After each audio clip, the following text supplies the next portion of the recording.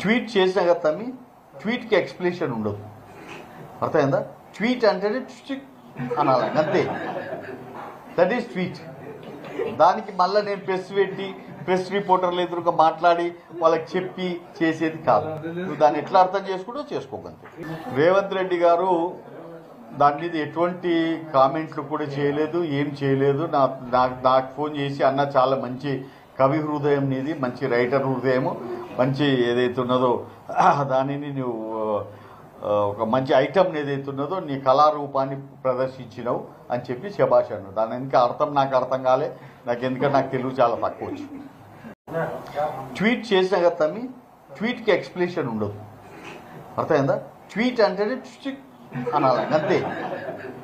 That is tweet దానికి మళ్ళీ నేను ప్రెస్ పెట్టి ప్రెస్ రిపోర్టర్లు ఎదురుగా మాట్లాడి వాళ్ళకి చెప్పి చేసేది కాదు. నువ్వు దాన్ని ఎట్లా అర్థం చేసుకుంటూ చేసుకోకండి రేవంత్ రెడ్డి గారు దాని మీద ఎటువంటి కామెంట్లు కూడా చేయలేదు ఏం చేయలేదు. నా నాకు నాకు ఫోన్ చేసి అన్న చాలా మంచి కవి హృదయం నీది మంచి రైటర్ హృదయము మంచి ఏదైతే ఉన్నదో దానిని నువ్వు ఒక మంచి ఐటమ్ ఏదైతే ఉన్నదో నీ కళారూపాన్ని ప్రదర్శించినావు అని చెప్పి శభాష్ అన్నాడు. దాని ఎందుకు అర్థం నాకు అర్థం కాలే నాకు ఎందుకంటే నాకు తెలుగు చాలా తక్కువ వచ్చు